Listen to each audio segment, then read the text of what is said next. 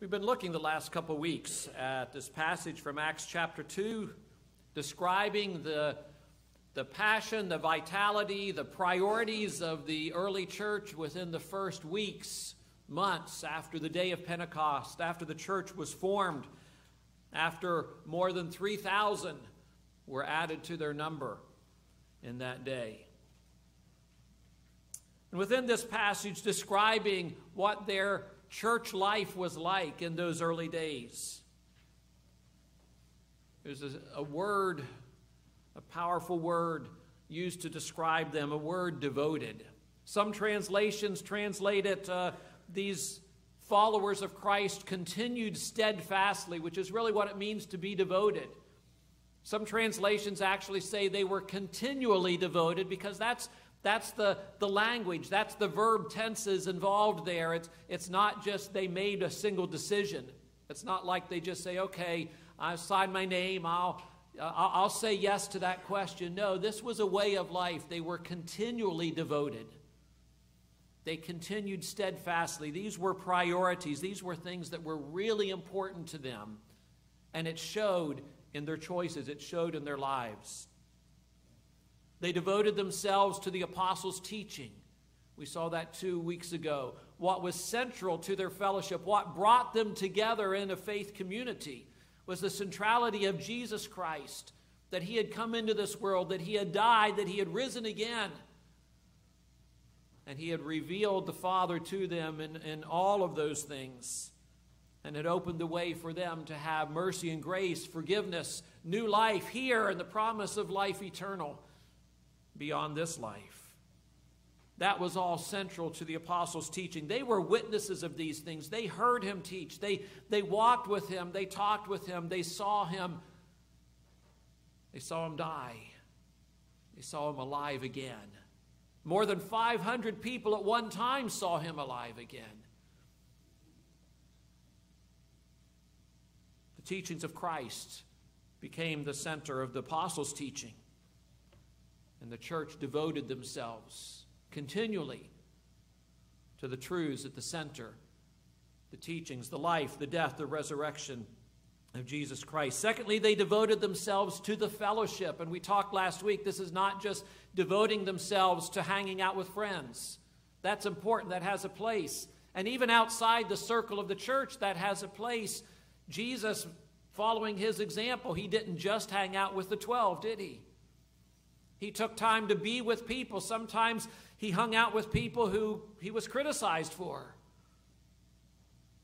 He's called a friend of sinners. He hangs out with tax collectors and, and the, the, the low life, so to speak, according to some other people. And that has its place, but it's important that our central commitment here, that, that our devotion be to, to the body of Christ, to the fellowship to the community of God's people, whether it's when we're gathered in worship, whether we're serving together, or whether we're apart from each other, but still one in heart and mind in all that we're doing. The early church had that deep commitment, that continual commitment that showed itself. And thirdly, and where we come today, Luke writes, they devoted themselves to the breaking of bread. Now, just the language that's used, the words that are used here, this could speak of what we do on a regular occasion when we gather around a table and have a meal. And we might do that with a friend. We might do that with someone else in our church family. And we might call that breaking bread together, sharing a meal. And yes, the words here could mean that. I believe that they mean more than that in this context for two reasons. One, because it's in a list of four things that were, were a part of their worship life together the apostles' teaching, the community that, that was formed. And in each one of these, it uses the definite article. It doesn't just say they devoted themselves to some teaching. It doesn't say they devoted themselves to some fellowship. It doesn't say they devoted themselves to some breaking of bread. It says to the apostles, the teaching of the apostles to the fellowship, to the breaking of bread. Later on, we're going to find a reference to breaking bread which is not so specific. And I think that's talking about sharing meals together. And we'll talk about that perhaps in a few weeks. You know, the, the early church was committed to proclaiming the, the centrality, the significance of the death of Jesus Christ. And while that was obviously central to the apostles' teaching, the symbolic ordinances of the Lord's Supper were also important. The symbolic ordinances of the bread and the cup would help both to, to picture the meaning of Christ's death and also to, to pass this ordinance along, this tradition, this ritual along, to pass it on to future generations. As a picture, it's something physical that we can look at that's, that's a tangible reminder. Jesus said, This bread, this bread which you're about to eat, it used to have a, a different meaning for you as part of the Passover, but now I'm giving it a new meaning. This bread, I want you to picture when you look at this bread, think of it as representing my body. And as we break this bread, think of my body broken. And I know not one of Jesus' bones were broken, but death, even just the, the, the, the torture, the, the, the lashes, all of that, we still say a body, a body becomes broken. Don't get hung up over those terms. We can still speak of Christ's body being broken for us. And the cup, Jesus said, This cup has significance. When you drink it, I want you to think of my blood, which is to be shed for you, shed for the forgiveness of sins. And so, even in these elements, there's, there's like this, this three dimensional picture. And it goes beyond that. There's also a picture in the act of eating the bread, the act of drinking the cup. There's a picture of taking something into us, and I've said this a number of times before, but I think, I think we need to remember it every time we approach the Lord's table that, that I think Jesus was very purposeful in, in instituting this for us, that in the same way that we take bread and drink into our bodies, and in some marvelous way, the nutrition in those elements feeds our bodies and, and actually feeds and nourishes and becomes part of every living cell in our body. We think of the spiritual significance that, that when, we, when we take the bread and the cup and we recommit ourselves to following Christ in, in that act of sharing in the communion, when we once more come to Him and say, I need the mercy represented in these symbols, I need the mercy that was shown at the cross. When we come with that spirit, we come humbly. We come seeking God's forgiveness, seeking His blessing, and recommitting ourselves to Him. That it's like we're taking that in. And, and, and God's desire is that the truth at the center of this, the mercy of God, becomes so much a part of every, every part of our life, every, every cell of our spirit, so to speak and it nourishes us in our spirit. So there's a picture in that.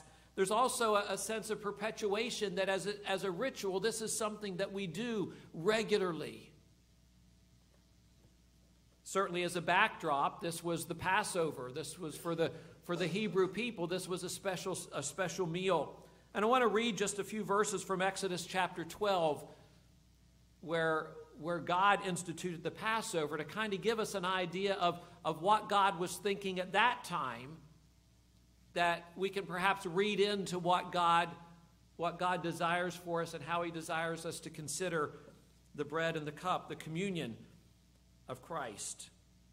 In Exodus chapter 12, as he was giving Moses instruction about, about how they would observe the Passover, remember this was these instructions were given before they actually left Egypt. The last plague, the death of the firstborn. And God had given instructions about how they would, would take a lamb and, and they would kill that lamb and take its blood and put it over the doorpost and the frame of the, the door of their house. And he said, when the angel passes through to, to take the life of every firstborn in Egypt, and when he sees the blood of that lamb over the doorway of your house, the angel will pass over that household and death will not be visited upon the firstborn in that family.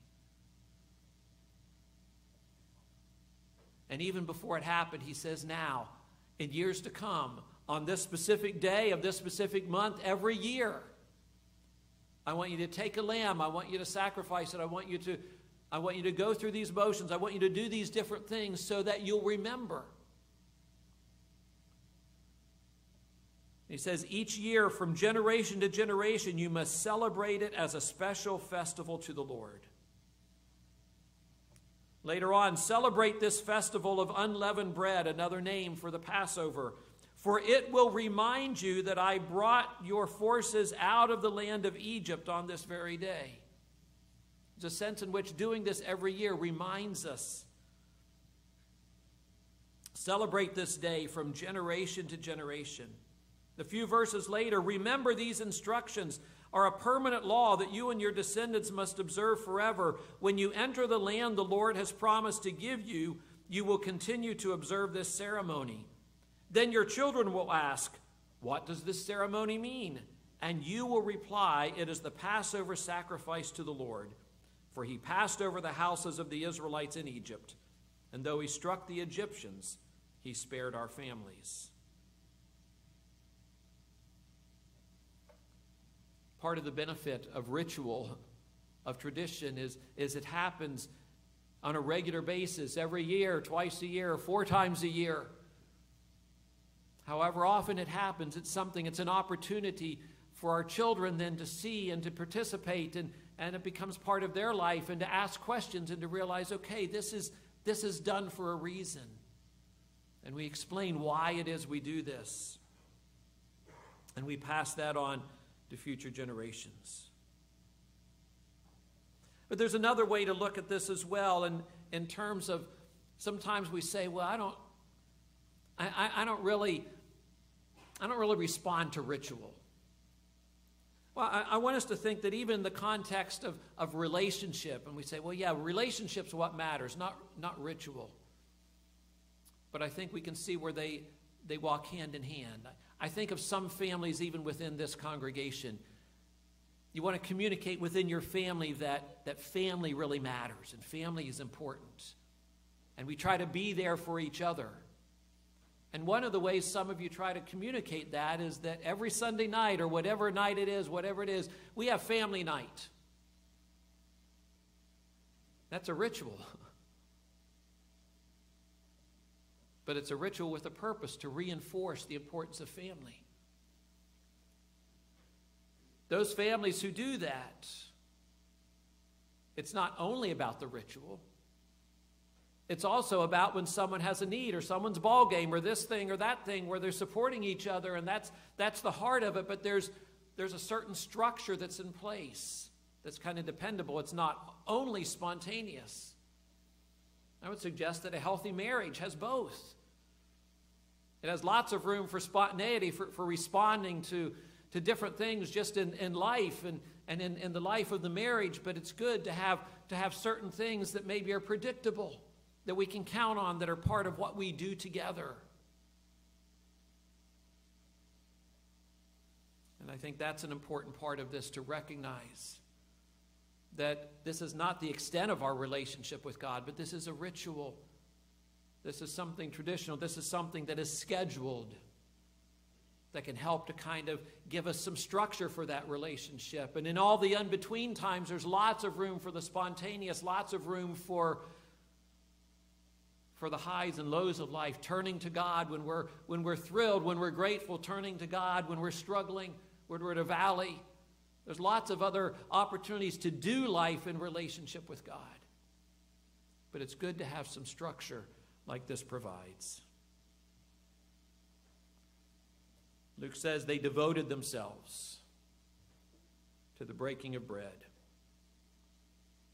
We think of this word devotion. It's a word that speaks of not just being devoted to doing something, devoted to a practice, but it's a relational word of devotion.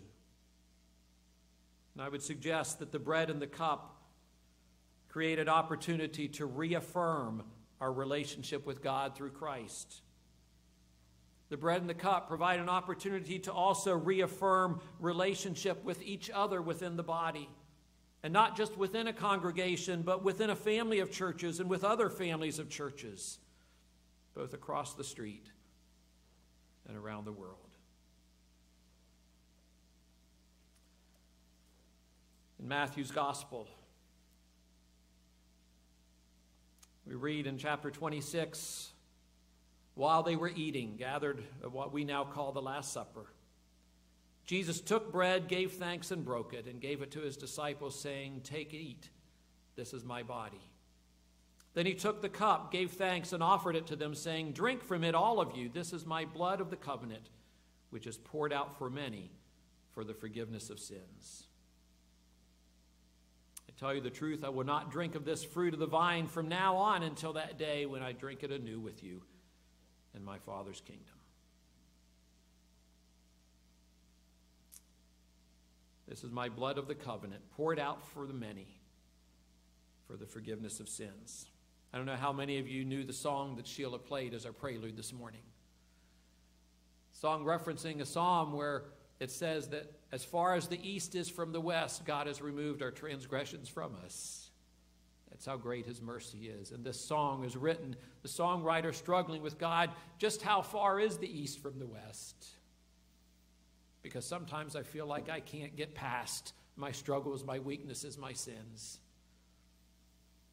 And the answer is it's as far as one, one scaled hand, one scarred hand to the other.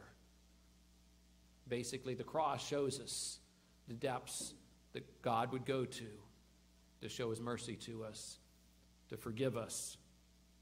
And may that, that picture also be present with us as we come to the Lord's table. Um, here this morning and, and sharing it together.